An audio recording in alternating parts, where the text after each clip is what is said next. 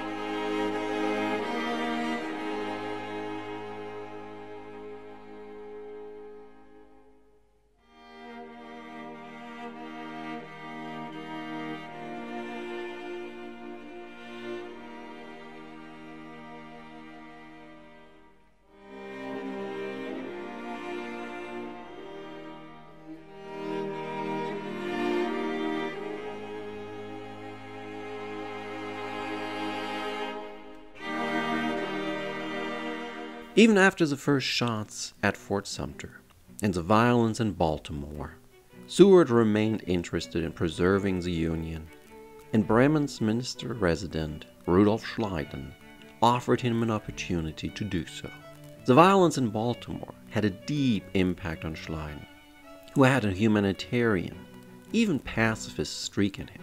In response to the foreseeable bloodshed, he contemplated mediating a truce between the two belligerents. As a former revolutionary, Schleiden approved of the right to revolution. But Schleiden did not grant the South that right. He believed that Southerners had acted preemptively, or as he often termed it, on sudden impulses. Furthermore, Schleiden knew from his experiences how difficult it was for a state to survive against a larger, more powerful foe. The idea of the diplomatic corps mediating was not new. In early January, Edward Everett approached the British minister Lord Lyons to inquire whether Great Britain, France, or Russia could mediate the sectional differences. Nothing came of the idea. In March and April, foreign representatives in Washington were active trying to find some reconciliation between the two sides. Schleiden's attempt to mediate a truce was only one of many ideas that circulated in Washington that spring. On the morning of April 24, 1861, Schleiden heard that Vice President Alexander Stephens was in Richmond.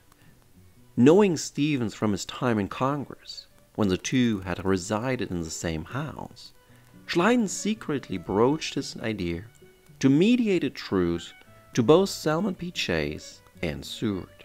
Where Chase refused to make any comment, Seward responded favorably, but with reservations. Schleiden's concern to prevent bloodshed received Seward's support, and he reassured the ministers that making contact with Stephens would not be held against Schleiden. However, Seward cautioned that the president and the government could not authorize such negotiations or provide specific terms. Nevertheless, Seward suggested that Schleiden should talk to President Lincoln. That afternoon, Seward and Schleiden met with Lincoln. The president thanked Schleiden for his willingness to help prevent bloodshed. He expressed a certain regret that he could no longer claim ignorance and wished that Schleiden had gone to Richmond on his own.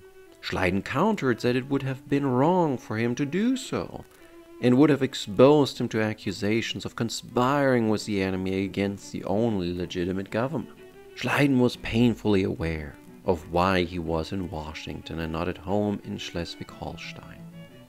His role as an insurgent had made him an outcast once, but there was no need to become one for a cause Schleiden did not believe in. Worried about the press misinterpreting his intentions, Lincoln insisted that the conversation be kept confidential.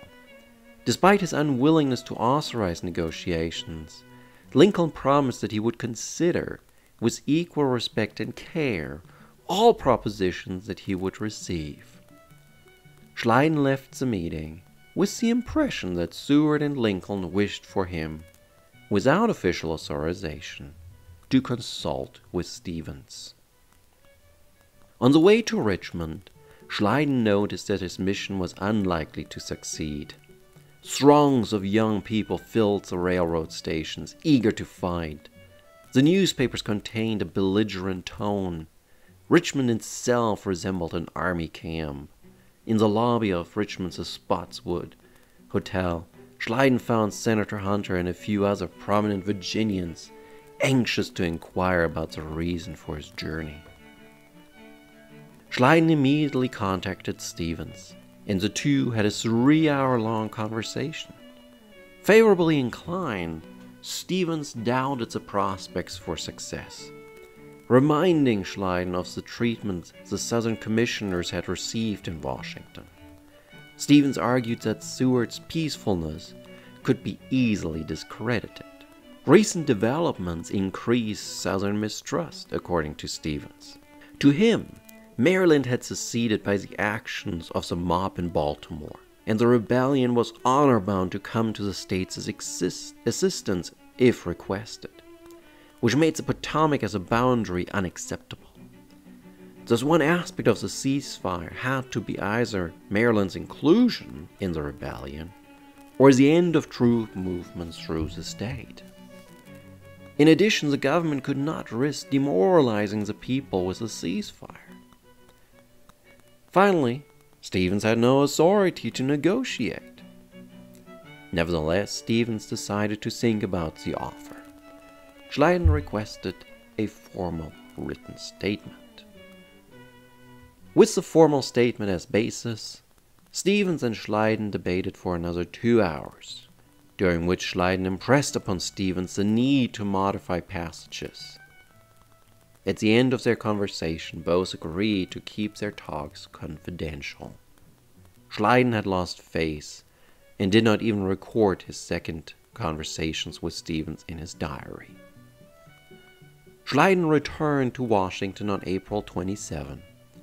He immediately copied the proposal and correspondence and added a cover letter, which he personally delivered to Seward. Seward listened attentively to the verbal report. He answered in Lincoln's stead, thanking Schleiden for his efforts. Seward confirmed that the Union was supreme and that the restoration of the Union was the primary goal of the government. Lincoln saw no use to pursue this matter any further. Schleiden informed Stephens of the failure.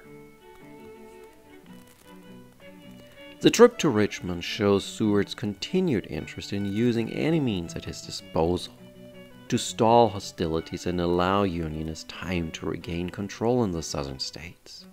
Even by late April 1861, Seward was still under the assumption of strong Unionist sentiments in the South. However, there's no evidence that Seward was the instigator or that he directly provided Schleiden with terms and conditions to present to the rebel vice president.